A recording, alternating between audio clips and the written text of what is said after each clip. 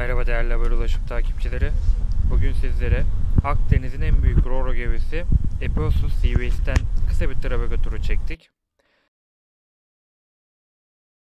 Bu gemiyle ilgili detaylı bilgileri bir sonraki videomuzda yayınlayacağız. Bu 237 metrelik gemide şu an Traveco ile aşağı iniyoruz. Ee, organizasyonun yapıldığı yere.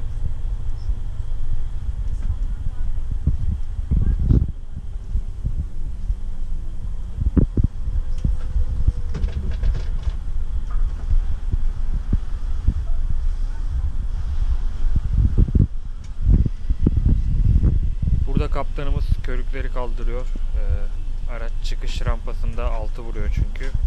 Ona önlem olarak.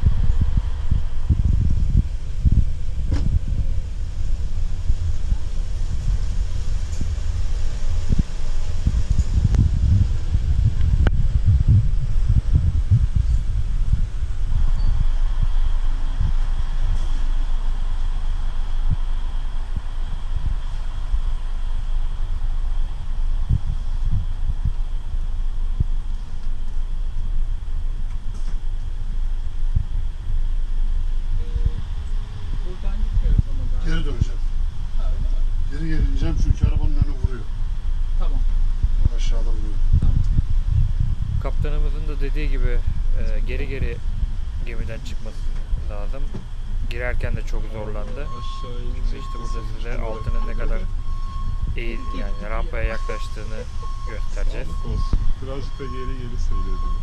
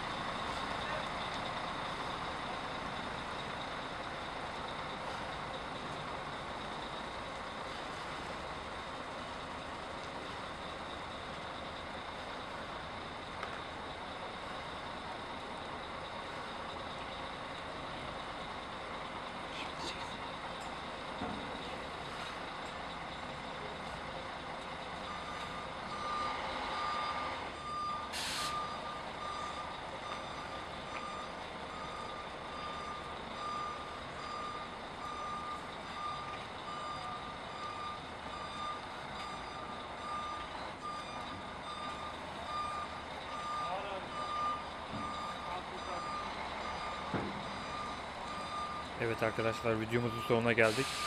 Videomuzu beğendiyseniz beğenmeyi ve kanalımıza abone olmayı lütfen unutmayın. Bir sonraki videoda görüşmek üzere.